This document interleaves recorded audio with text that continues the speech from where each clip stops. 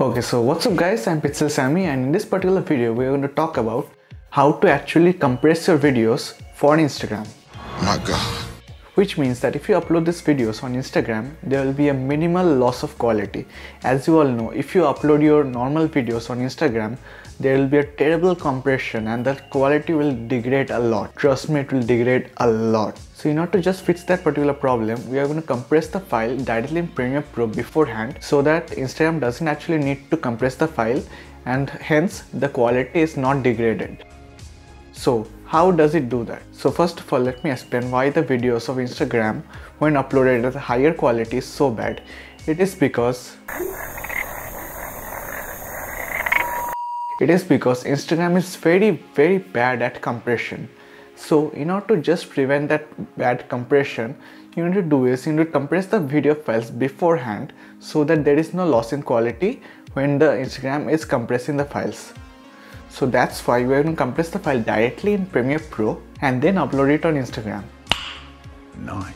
So you need to follow these exact steps and it will be pretty much easy. And trust me, the results are very, very, very stunning. And let's get started.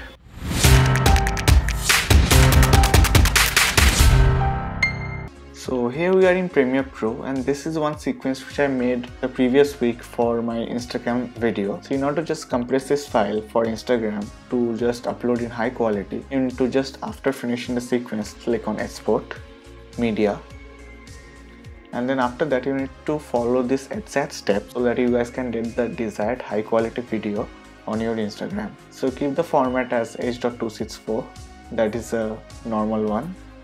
Keep the preset as high bitrate. Now go to the video, change the width to 640 and change the height to 360 and make sure it is at render at maximum depth and make sure that use maximum render quality is checked as well. Now in the encoding settings, untick that profile and change the profile from main to high and then in the bitrate settings click the bitrate encoding as BVR1 pass and change the target bitrate and the maximum bitrate to this. Change the target bitrate to 5 and the maximum bitrate to 6 don't worry about all these numbers. You guys don't need to think of all these numbers at all. Just follow these exact steps and then you are going to see a very good quality instagram video on your post.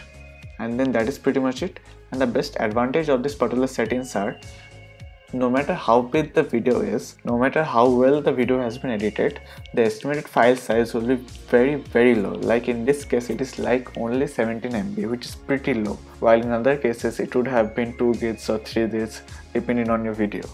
So that is pretty much it and then after that click on export and then drag it onto your mobile phone and upload it on Instagram. And then trust me you are going to be really surprised with the results such as this one. This one was one of the stop motions which I made the previous day and I did not compress it beforehand. I just left it for the Instagram to compress it on itself and this is the result which I have got. And this particular video this particular video which I made for my friend I tested it out and then compressed it in Premiere Pro like I showed in this video and then posted it on my Instagram. This is the result the quality is a lot lot better than my previous video. And trust me if you guys try this as well it will be a game changer for you guys as well. And with that being said this is pretty much it and this is Pixel Samy signing out. Peace out